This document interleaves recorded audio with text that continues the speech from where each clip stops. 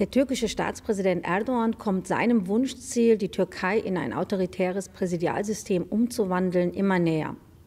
Mit den Stimmen der islamistischen Regierungspartei AKP und der nationalistisch-faschistischen MHP hat das Parlament die erste Lesung in Sachen Verfassungsänderung gebilligt.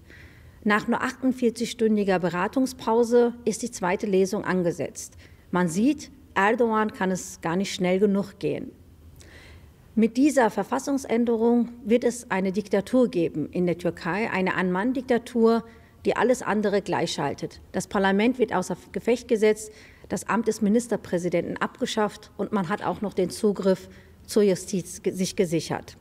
Herrschende, der herrschende Ausnahmezustand in der Türkei wird zu einem dauerhaften Normalzustand.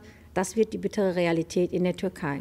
Und trotz all dieser Repressionen gegenüber der Opposition und auch der freien Presse gibt es immerhin Zweifel, ob es eine Mehrheit geben wird für die geplante Volksabstimmung am 2. April. Und da baut Erdogan vor und droht. Er droht mit Neuwahlen für den Fall, dass es keine Abstimmung in seinem Sinne am 2. April geben wird. Bei einer solchen Abstimmung aber weiß man, dass die Opposition völlig außer Gefecht gesetzt worden ist.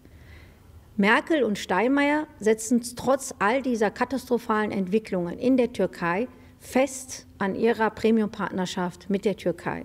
Sie sind mitverantwortlich für den Kurs der Türkei durch ihre enge Partnerschaft und auch Kumpanei. Es ist Zeit, dass Merkel und Steinmeier dem Despoten Erdogan den Rücken kehren und die Hand für die Demokraten in der Türkei reichen.